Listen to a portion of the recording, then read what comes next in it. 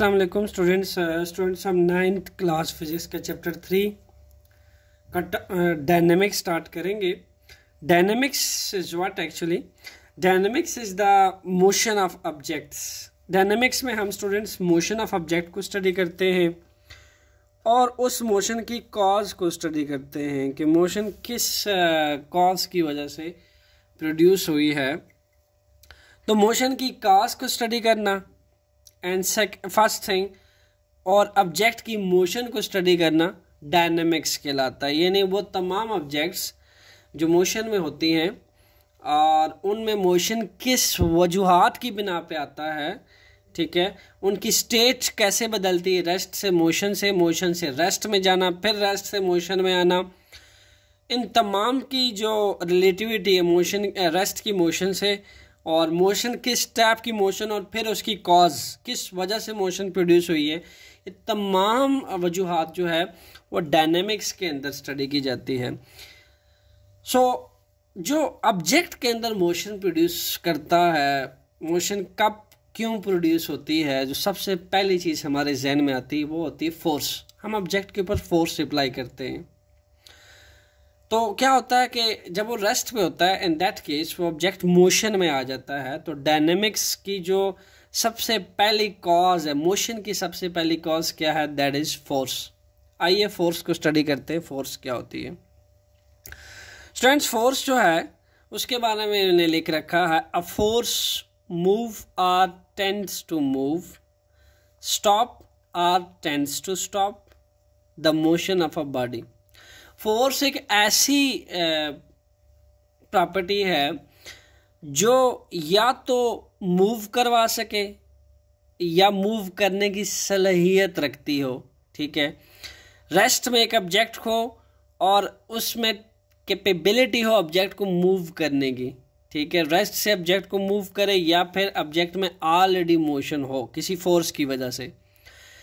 Then stop stop means के किसी moving object को स्टॉप कर सके।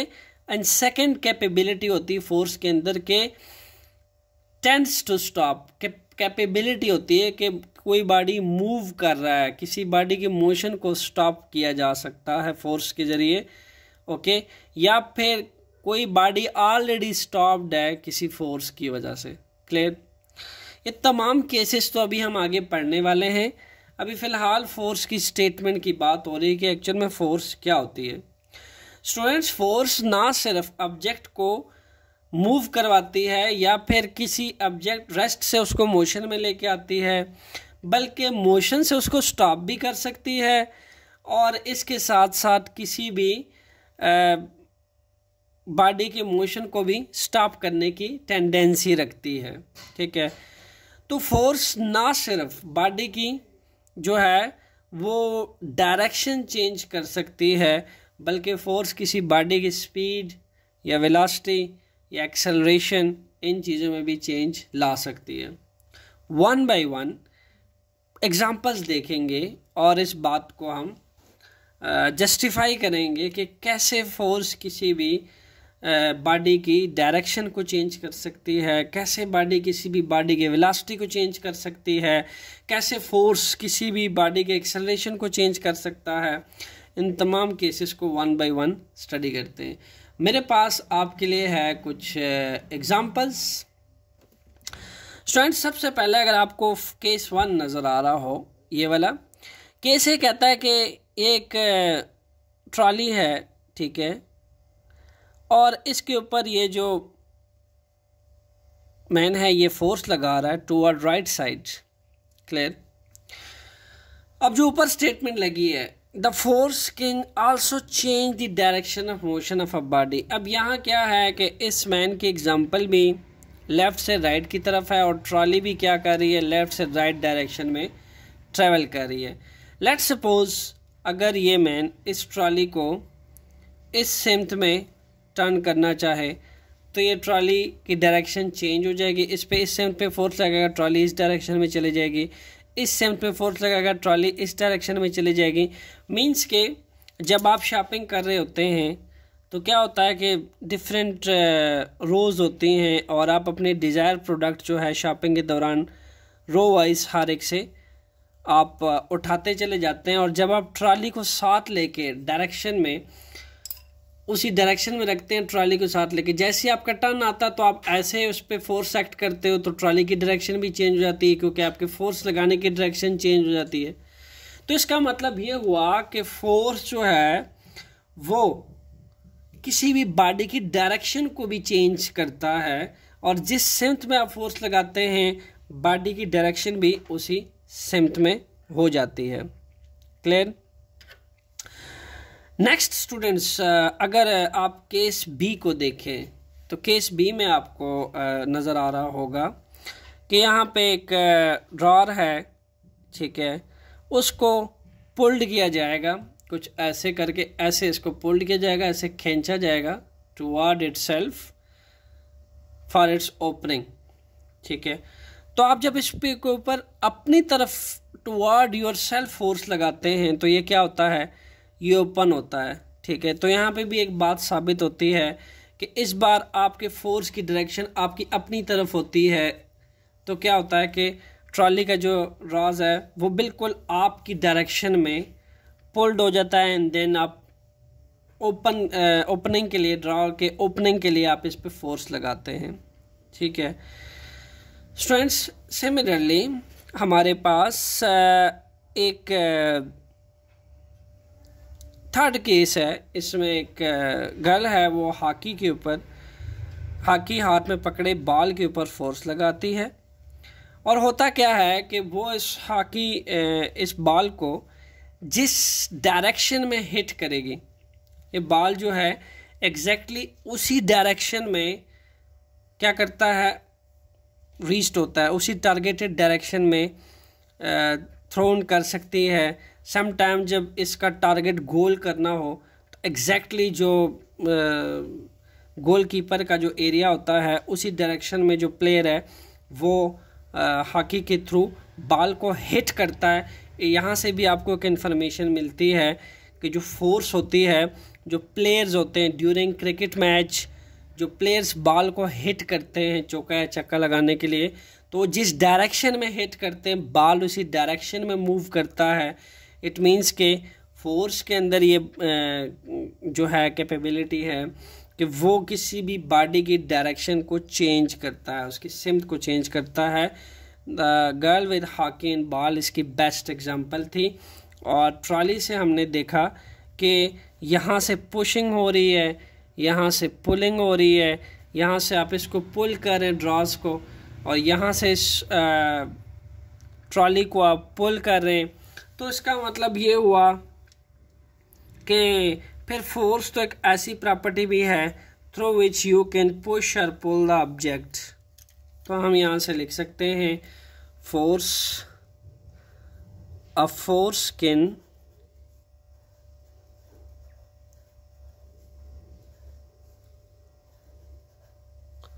push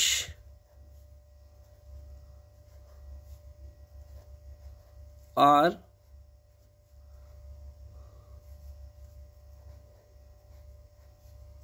pull the object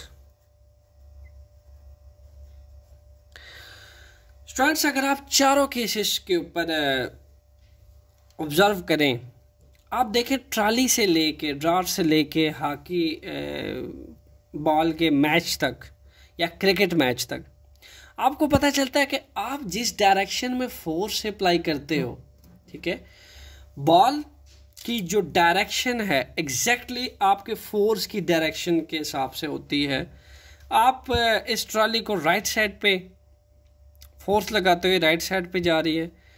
तो आपके जहन में एक टॉपिक आना चाहिए जो आप चैप्टर टू में पढ़ते हो स्केलर इन वेक्टर्स स्केलर तो आपके पास वो होता है जो जस्टिफाइड किया जाता है ओनली मैग्नीट्यूड से। ठीक है?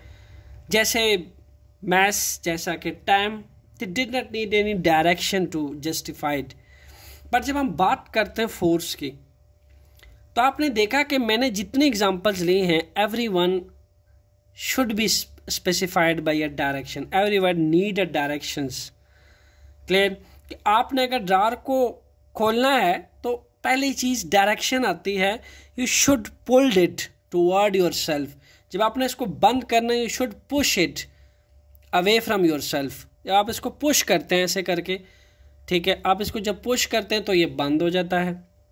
तो डायरेक्शन आती है जहन में। इसी तरह आप अगर चार रोज़ में फिर रहे हैं शॉपिंग के दौरान तो आप ट्राली को डिफरेंट डायरेक्शन में फोर्स लगाते हैं, ऐसे ऐसे डिफरेंट रोज़ में जाने के लिए। तो फिर आपके जहन में आता है कि direction are involve in force ठीक है? Force can not be explain without direction तो ये तय हुआ कि इट मीन्स के फोर्स एक ऐसा क्वांटिटी है जो कि मैग्नीट्यूड के साथ साथ डायरेक्शन से एक्सप्लेन किया जाएगा. Without direction force are meaningless force cannot be justified so you need direction to justify a force so हम अपने साथ लिख लेते हैं. All these example justified that force is a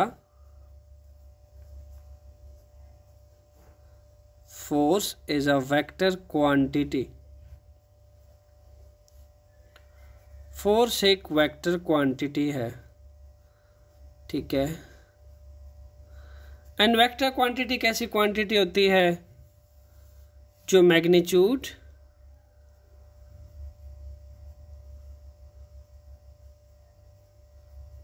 plus direction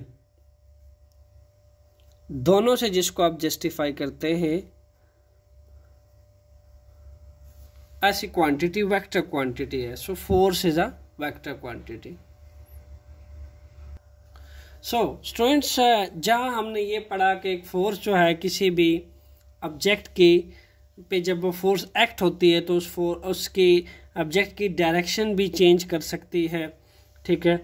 वहाँ अब हम हम ये भी सीखेंगे कि फोर्स जब किसी भी ऑब्जेक्ट पे एक्ट होती है तो उसकी डायरेक्शन के साथ साथ उस ऑब्जेक्ट की शेप साइज़ भी चेंज कर सकती है।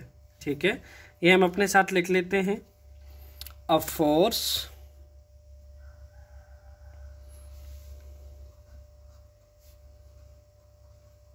a force can also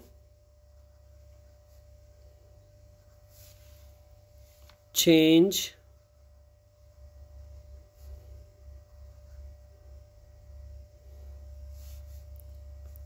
size and shape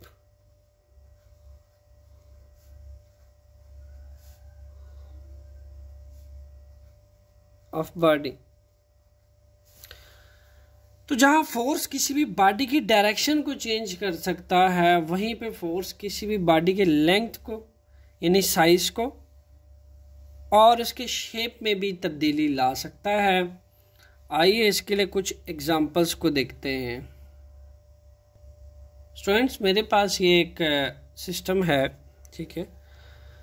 अब इसका जो शेप है वो सर्कुलर टाइप है।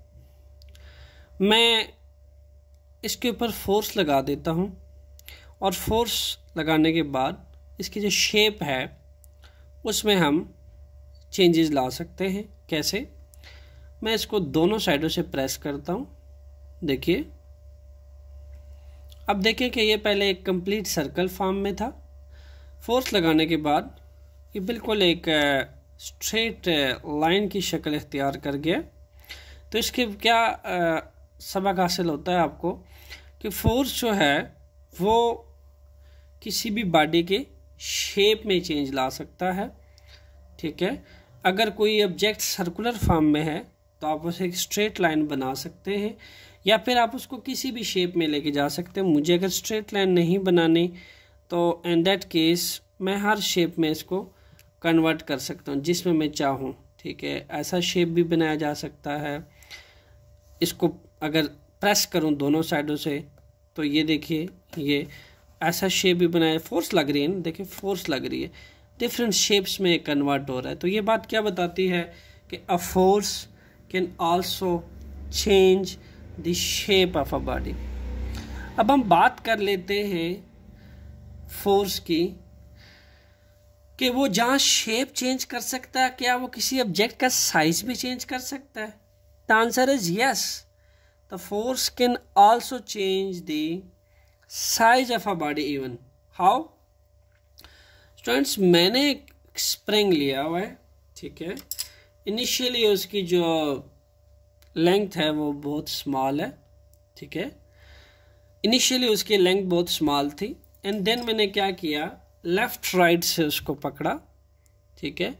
लेफ़्ट राइट से उसको पकड़ने के बाद स्ट्रेच किया उसको। जब मैं उसको स्ट्रेच करता हूँ राइट साइड पे की तरफ़ भी स्ट्रेच करता हूँ लेफ़्ट साइड की तरफ़ भी स्ट्रेच करता हूँ तो फिगर बी में देखा जा सकता है कि पहले इसकी लेंथ जो है, वो इतनी सी थी, ठीक है? अब स्ट्रेच करने के बाद लेफ़्ट से राइट की तरफ़ स्ट्रेच करने के बाद इसकी लेंथ बढ़ चुकी है। यहाँ से क्या बात साबित होती है?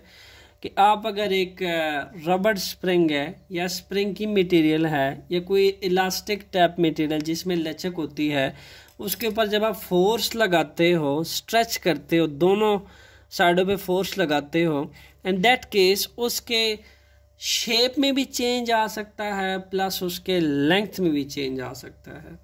क्लियर इसकी सेकंड एग्जांपल ये है कि आप फिगर ए में देखिए, ये एक बलून है। देन उस बलून को क्या किया गया? दोनों साइडों से ऐसे स्क्वीज करने की कोशिश की जा रही है। स्क्वीज करने की कोशिश के बाद देखा जा सकता है कि ये जो एक सफेरिकल शेप बलून था, ये ओवल शेप्ड में आ चुका है, ठीक है? ऑलमोस्ट अप्रॉक्सीमेट ओवल शेप्ड में है ये। आप देखिए कि कैसे एक सफेरिकल शेप में ओवल शेप में जा चुका है। तो इस बात, दोनों बातों से आपने देखा कि जब आपने स्प्रिंग पे फोर्स लगाया तो आपके पहले शेप स्मॉल थी, थोड़ा कंडेंस फॉर्म में था क्लोज क्लोज स्प्रिंगी स्प्रिंग थे। और जब आपने दोनों तरफा स्ट्रेच किया, दोनों तरफ़ स्ट्रेच किया तो आपने देखा कि दोनों तरफ़ थोड़े ओपन हो गए हैं इनके अंदर स्पेसेस ज़्यादा हो गए हैं क्योंकि इनका लेंथ में चेंज आ चुका है। लेंथ इसकी बढ़ चुकी है। तो इसका मतलब ये है कि फोर्स जो है वो लगाने से ऑब्जेक्ट्स के लेंथ में चेंज आती है। बी में देखा जा सकता है सेकंड एग्जांपल में कि ऑब्जेक्ट्स जो है वो किस आ, उसकी शेप चेंज आती है जब उस पर फोर्स एक्ट करता है। जैसा कि बलून है उस पर जब फोर्सेस अप्लाई की गई इक्वल एंड अपोजिट फोर्सेस ठीक है, दोनों तरफ़ से तो क्या हुआ जी? ये कंप्लीटली एक ओवल शेप्ड में चला गया, ठीक है। तो दोनों तरह से हमने कंक्लूड कर लिया कि फोर्स जो है वो साइज़ एंड शेप दोनों को चेंज कर सकता है। फिर स्टूडेंट्स आप सबके फेवरेट बैट्समैन शायद अफरीदी हमेशा आपको छक्के लगाने में याद आते हैं और वो ग्राउंड के हर तरफ़, हर ओरिएंटेशन में चक्का छोका लगाने में महारत रखते हैं। तो यहाँ भी आप देखिए, वो अपने बैट के थ्रू क्या करने की कोशिश कर रहे हैं। बाल को एक टर्न देने की कोशिश कर रहे हैं, ताकि वो डिफरेंट डायरेक्शन में चौका चक्के लगाने की कोशिश करते हैं, जिसके थ्रू आपको पता चलता है कि आप की बॉल एग्जैक्टली किसी भी बैट्समैन की बॉल जब वो हिट लगाता है तो वो उसी डायरेक्शन में जाती है, उसी सिमत में जाती है, जिस डायरेक्शन में वो उस पर फोर्स एक्ट करता है, या जिस डायरेक्शन में वो उसको पुस्ट करता है। तो यहाँ पे शायद अफरीदी बाल को कुछ ऐसी डायरेक्शन में पुस्ट करें, इस तरफ़, ठीक है लेफ़्ट साइड पे पुश लगाने की कोशिश कर रहे हैं तो ये बाल बिल्कुल लेफ़्ट साइड पे जो है वो पुश्ड होगी, और इससे आपको ये अगेन ये बात पता चलती है जो पहले भी डिस्कस हो चुकी है कि force as a vector quantity and it also change the direction of a body and when we discuss about force force force will be also always justified always a direction clear ये हमेशा direction से justify की जा सकती है। Students आइए अब आपको कुछ बैलेंस्ड एंड अनबैलेंस्ड फोर्सेस के बारे में बताते हैं। क्योंकि आपकी डेली लाइफ में इन फोर्सेस के साथ इंटरेक्शंस होती रहती हैं बट आपको उनके फिजिक्स का आइडिया नहीं होता कि इसकी फिजिक्स क्या है। सो so, स्टूडेंट्स यहाँ देखा जा सकता है कि ये एक टेबल है और यहाँ हमने एक ब्लॉक जो है वुडन ब्लॉक यहाँ पे प्लेस किया हुआ है। अब इस वुडन ब्लॉक के दोनों डायरेक्शन पे फोर्स लग रही है। एक्स डायरेक्शन पे भी फोर्स लग रही है। वाई डायरेक्शन पे भी फोर्स लग रही है। यानी जो लेफ़्ट राइट साइड पे जो फोर्स लग रही है उसको हमने नाम दे दिया एक्स और जो लेफ़्ट साइड पे फोर्स लग रही है उसको हमने नाम दे दिया है वाई अब स्टूडेंट्स अगर इस ब्लॉक को आ, के ऊपर दोनों तरफा फोर्स लगती है लेफ़्ट साइड पे राइट साइड पे तो आप देखोगे कि ये ब्लॉक जो है फोर्सेस लगने के बावजूद भी रेस्ट में होगा बैलेंस्ड होगा। वाई आइए रीज़न जानने की कोशिश करते हैं। स्टूडेंट्स होता क्या है कि एक्स डायरेक्शन में जो फोर्स लग रही है, वो बिल्कुल इक्वल मैग्नीट्यूड है जो वाई डायरेक्शन में लग रही है। अब अगर मैं आपसे ये कहूँ कि एक्स डायरेक्शन में प्लस फाइव न्यूटन फोर्स लग रही है toward the right side plus five newton. इसी तरीके से वाई डायरेक्शन में माइनस फाइव न्यूटन फोर्स लग रही है. तो मैं अगर इस दोनों फोर्सेस का रिज़ल्ट निकालूं ऐड करूँ दोनों फोर्सेस को तो क्या आंसर आता है? Plus five newton minus five newton the result of that force will be zero newton यानी अगर जो एक्स जो है एक्स डायरेक्शन में जो इस ब्लॉक को खींचा जा रहा है, उतना ही इसी ब्लॉक को वाई डायरेक्शन में खींचा जा रहा है तो दोनों का जो नेट रिज़ल्ट है वो तो ज़ीरो है। तो ये ब्लॉक तो रेस्ट में रहेगा, ये मूव नहीं करेगा। इट मीन्स के बैलेंस्ड रहेगा। तो हम फिर बैलेंस्ड फोर्सेस किसको कहेंगे? बहुत सिंपल होने वाला है केस ज़ीरो न्यूटन पे ही आपको आंसर मिल गया। आप बैलेंस्ड फोर्सेस, उन फोर्सेस को कहोगे जो जिस पे जिस पे बॉडी बैलेंस्ड रहती है। क्लियर? वो तमाम फोर्सेस जिसमें बॉडी बैलेंस्ड रहे, ठीक है? और या यूँ कह लें कि उन, जिन फोर्सेस का जो रिजल्टेंट फोर्स है, जो रिज़ल्ट है, नेट रिज़ल्ट ज़ीरो आ जाए, ऐसी फोर्सेस, बैलेंस्ड फोर्सेस कहलाती हैं। तो हम क्या कह सकते हैं? Balanced forces whose whose net resultant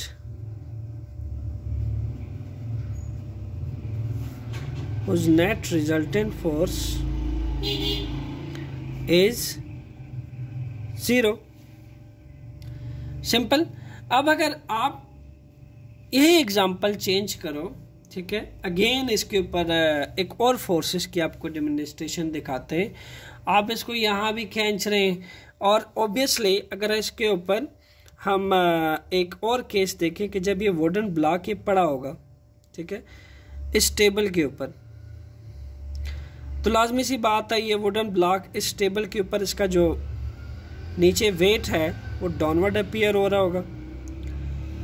और ये जो टेबल है, ये उस वुडन ब्लॉक के ऊपर इक्वल एंड अपोजिट एक रिएक्शनल फोर्स लगाएगा।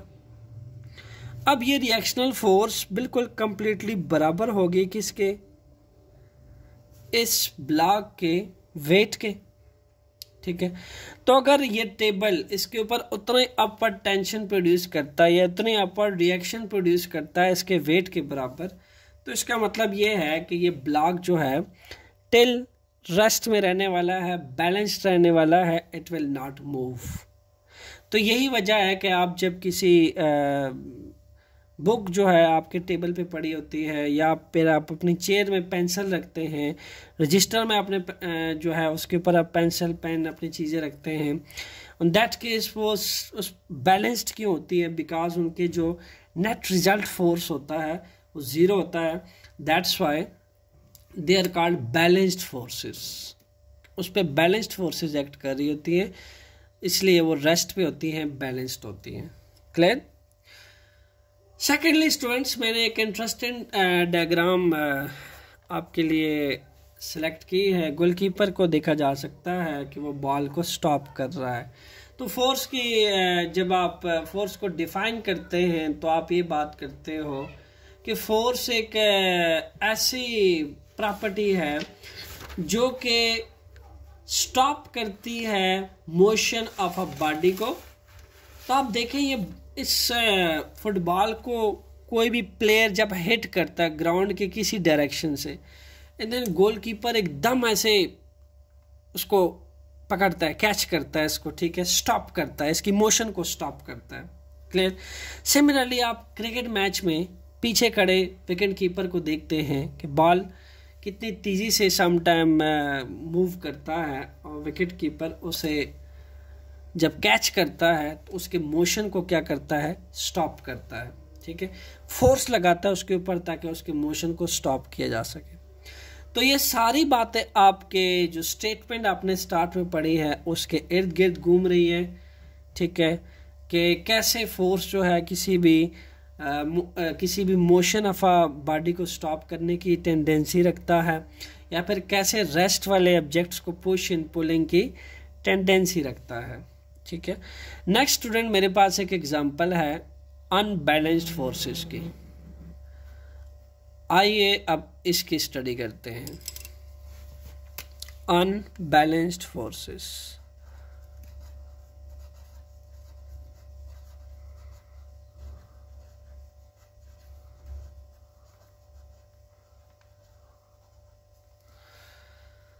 स्टूडेंट्स अक्सर आप देखते हो कि आप ज़मीन के अर्थ के ऊपर जब आप किसी भी चीज़ को इवन के पेंसिल अगर मैं यहाँ रजिस्टर के ऊपर रखूँ तो जब मैं इसके ऊपर फोर्स लगाता हूँ, ऐसे तो यहाँ पे दो सरफेसेस होती हैं। एक वो सरफेस जो इस पेंसिल की अपनी है, निचली सतह, और एक वो सरफेस जो रजिस्टर की है, ये वाली। अब ये दो सरफेसेस जब आपस में रगड़ खाती है ना, इसको कहते हैं फ्रैक्शन इसको क्या कहते हैं? फ्रैक्शन जैसे मेरे ये दो फिंगर्स हैं, इसकी सरफेसेस को अगर आप रब करें एक दूसरे के साथ तो उसे क्या प्रोड्यूस होती है? फ्रैक्शन ऐसे ही जब मैं इस पेंसिल के ऊपर फोर्स लगा रहा हूँ तो होता क्या है कि इस रजिस्टर की सरफेस और इस पेंसिल की निचली सरफेस में फ्रैक्शन प्रोड्यूस होती है। वो फ्रैक्शन किस डायरेक्शन में लग रही होती है स्टूडेंट्स वो फ्रैक्शन एग्जैक्टली मेरे फोर्स के अपोजिट डायरेक्शन में लग रही होती है। यानी मैं फोर्स ऐसे लगा रहा हूँ इस डायरेक्शन में, ठीक है? और वो फोर्स इस डायरेक्शन में लगेगी, ऐसे, ठीक है? ये दोनों की सिम जो है, ये ऐसे फोर्स लग रही है और जो फ्रैक्शन प्रोड्यूस होगी वो अपोजिट डायरेक्शन में प्रोड्यूस होगी। तो जो यहाँ अनबैलेंस्ड फोर्स का केस है, इधर भी ऐसा ही हो रहा है। ये दो स्टूडेंट्स हैं जो इस ब्लॉक को वुडन ब्लॉक को पुश कर रहे हैं, ठीक है? इसको देखेल रहे हैं आगे की तरफ़। अब हो क्या रहा है? एक एरो मैंने लगाया हुआ है राइट साइड की तरफ़ और एक एरो डाउनवर्ड आपको नज़र आ रहा है लेफ़्ट साइड की तरफ़। स्टूडेंट्स ये जो आपको टॉप पे एरो नज़र आ रहा है, ये वो एरो है जो ये दोनों इसको राइट साइड की तरफ़ धकेल रहे हैं, इसके ऊपर फोर्स लगा रहे हैं तो ये ब्लॉक बिल्कुल राइट साइड में मूव करने वाला है।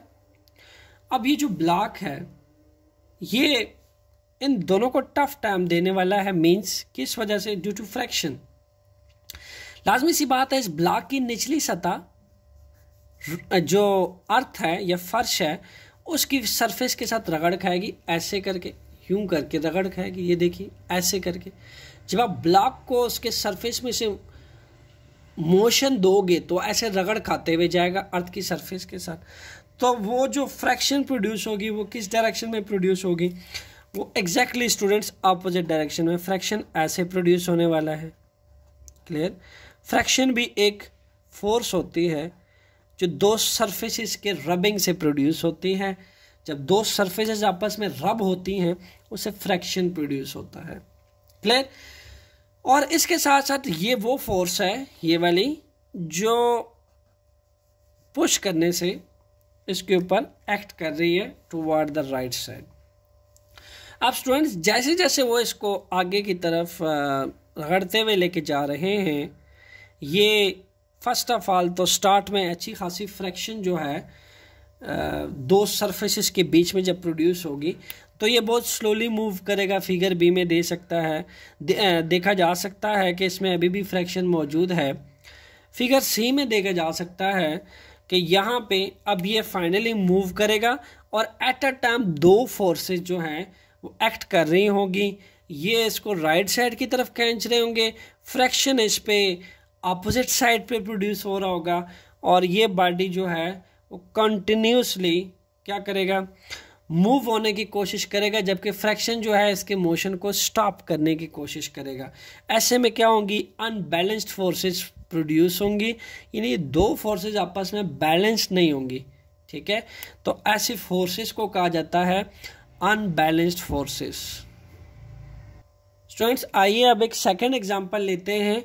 एक अनबैलेंस्ड फोर्सेस की बाईसाइकिल राइडर स्टूडेंट्स साइकिलिस्ट जो है जब इसके ऊपर राइड करेगा साइकिल के ऊपर तो साइकिल को कि जो टायर की निचली सत्ता है, ये वाली और ये वाली, ये क्या करेगा? रोड की सरफेसिस जो है रोड की सरफेसिस के साथ रब होंगे, इसके टायर रब होंगे और रब से क्या होगी? फ्रैक्शन प्रोड्यूस होगी। फ्रैक्शन जो है, इसके अपोजिट डायरेक्शन पे लगेगी। इस डायरेक्शन में और ये साइकिलर जो है साइकिल साइकिलिस्ट राइडर जो है, इसको इस डायरेक्शन में मूव करेगा। ठीक है? और फ्रैक्शन जो है बार बार इसकी मोशन को स्टॉप करने की कोशिश करेगा। ठीक है? अब जब एक बाईसाइकिल राइडर इसके मोशन को स्टॉप करने की कोशिश करेगा इन दैट केस ये साइकिलिस्ट जो है ये पैड, पैडल के थ्रू इसको तेज तेज रोटेट करेगा ताकि उसकी साइकिल तेज चले जबकि रोड और टायर के बीच में जो फ्रैक्शन है वो इसकी मोशन को स्टॉप करेंगे। एंड दैट केस भी जो फोर्सेस प्रोड्यूस होंगी वो अनबैलेंस्ड फोर्सेस प्रोड्यूस होंगी। अनबैलेंस्ड फोर्सेस प्रोड्यूस होंगी।